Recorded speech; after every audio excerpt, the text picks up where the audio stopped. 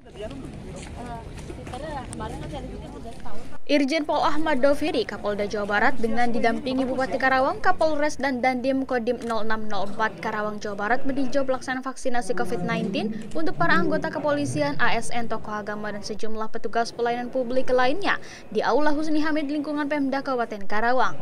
Dalam tinjauan tersebut, Kapolda memastikan kegiatan penyuntikan vaksin Sinovac di Kabupaten Karawang berjalan dengan tetap menerapkan protokol kesehatan.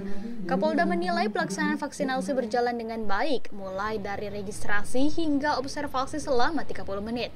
Di samping itu, Kapolda berharap dengan adanya vaksinasi ini dapat membantu para petugas pelayanan publik dalam memberikan pelayanan dengan baik dan aman terhindar dari virus corona.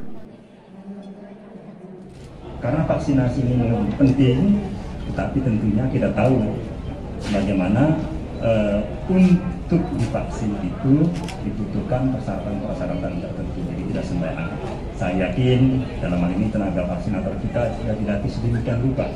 Bupati menjelaskan pada saat awal masuk registrasi dicek dulu ya kemudian juga masuk sampai kemudian divaksin. Pelaksanaan vaksinasi COVID-19 yang dilaksanakan pemerintah setempat dilakukan secara bertahap untuk ASN, tenaga kesehatan, rekan media, Polri, TNI, serta petugas pelayanan publik lainnya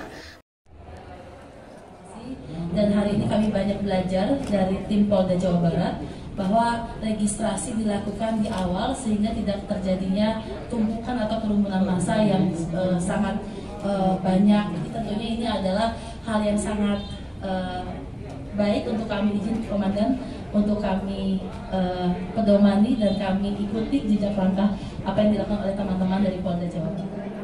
Bunda, Badar TV, Karawang.